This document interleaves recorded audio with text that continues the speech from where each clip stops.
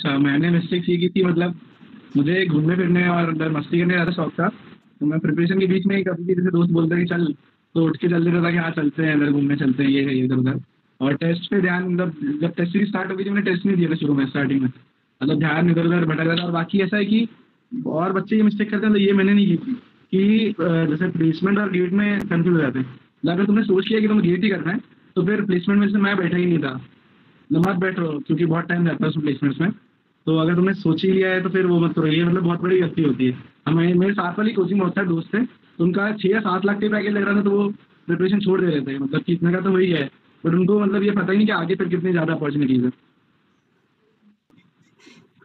मैंने वही मिस्टेक्स किया था कि पहले पूरा रिसर्च नहीं किया था कि कौन सा कंटेंट कहाँ से पढ़ना है सिलेबस मैच नहीं किया था तो मैंने इनिशियल प्रिपरेशन में बहुत ज़्यादा टाइम वेस्ट किया। मतलब कुछ सब्जेक्ट मैंने वापस दोबारा पढ़े और जैसे डिजिटल लॉजिक का ज़्यादा वेटेज नहीं होता, लेकिन मैंने उसको इतनी बार पढ़ा है, तीन नंबर का आता है, मैंने वो भी नहीं देखा था कि कितने नंबर का आता है। तो पहले प्रिपरेशन करने से पहले पूरी स्ट्रेटेजी होनी चाहिए कि कौन सा सब्जेक्ट कितने नंबर का आ रहा है, वो पूरा पता होना चाहिए। मैंने वो कैलकुलेशन नहीं की डायरेक्ट प्रिपरेशन स्टार्ट कर दी थी तो मेरा उसमें बहुत ज़्यादा टाइम वेस्ट हुआ। दूसरी चीज़ ये है कि कंसिस्टेंसी नहीं बनी पा रही थी। मतलब कंसिस्टेंसी बन नहीं पा रही थी, सुबह कभी मतलब कभी पढ़ाई हो जाती थी, कभी नहीं, कभी कॉलेज वाले ज़्यादा मतलब वो कर देते थे तो उस कारण से नहीं हो पाती थी।